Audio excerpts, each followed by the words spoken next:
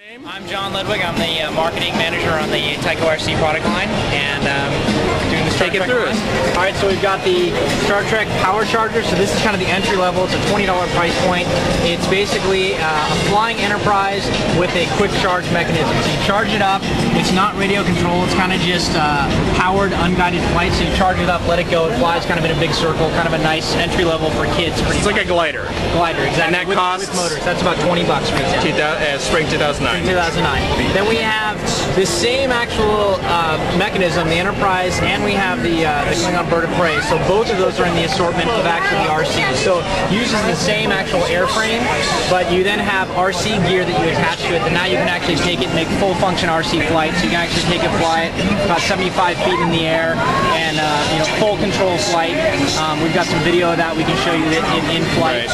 Uh, then we have our Deluxe Enterprise. Our Deluxe Enterprise is uh, a $70 retail, and this is uh, this is a model of it. It's actually it's a, a foam, expanded foam, like most flying toys, um, with two motors on it, and it's, it's kind of the full uh, Enterprise design. This would be the, uh, the the refit, the Enterprise refit from the movie. Actually, sorry to get that's tricky in on you. That's what it's going to be. That's not what this exact one is. Well, so, well, that's the refit. Th- and that's what this one is going to be when it's when it's in production. Oh, I see. So you guys aren't going to do a classic Classic, the classic does not fly as well as the refit, is what we found. because of the sweat back. exactly, the swept back pods, exactly. So no, so the classic doesn't make it to the world of RC. Not yet, we're working on it. We're trying to get it, but, but for round one, it's going to be re- refit is the, uh, So this one and this one will kind of look the same. the same. same except the 3D version and kind of more of a, of a Right. 2D version. So then the control on this one is what's really cool. The control on this is actually, it's the communicator with sounds. You flip it open and you get the, the kind of authentic communicator sound that Is that one working? Uh, I have a working one in there, which I, I have to get the key to get that out. And then what's really cool about it is the first ever touchscreen control RC. So you actually run your finger up and down the screen and left and right, and that's actually your control of your uh, flying RC. So you're actually using your, it's kind of the iPod of, uh, of um, radio control. What what uh, what is the um, what does the tricorder do? The is the charger, so you actually Oh. you use that. You, I think you put um, I think it's four D batteries in that, and then it's your field charger that you have with you. So you charge this up. It takes about 15 minute charge. There's a uh, internal uh, lipo battery inside this. You charge it up about 15 20 minutes, and then you can get about 15 minutes of flight out of it.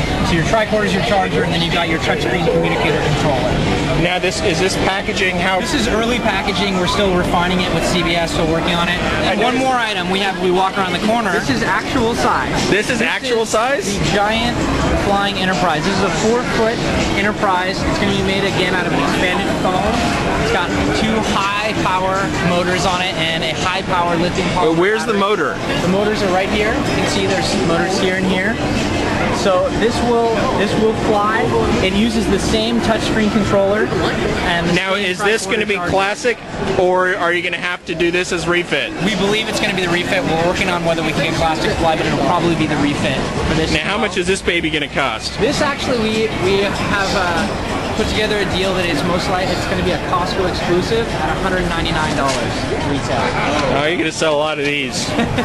Well, we're going to sell a limited number. We'll put it that way, so they'll go fast. Um, are there any lights on it that light up? There aren't any lights on it. Um, there will be a light on the communicator, but no lights actually on the Enterprise.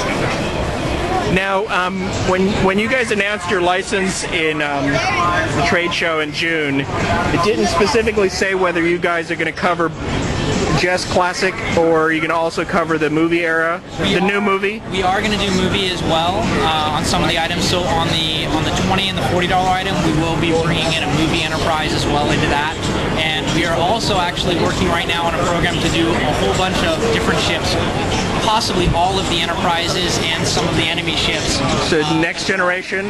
So yeah, Enterprise D, um, Voyager, all, all we're working on. So Wow. we're trying to do as many as we can. We'll see. I can't promise how many are going to get done and or how quickly that's going to happen, but We're trying to do a program right now with the retailer to actually do a whole bunch of the different ships. Now, all of this starts arriving spring.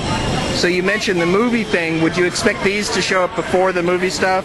they will most likely show up a little bit before the movie. Uh, we're trying to work out right now what the, the launch date is for all the different retailers. It could be as early as January um, and as late as April. So And the movie stuff would be as early as Probably April. April would be when the movie stuff would start to hit shelves.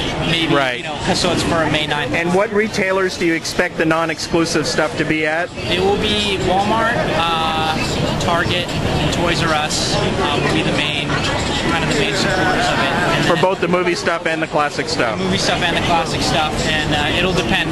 Which some retailers will take more of one or less of the other, and they won't all carry necessarily all of them.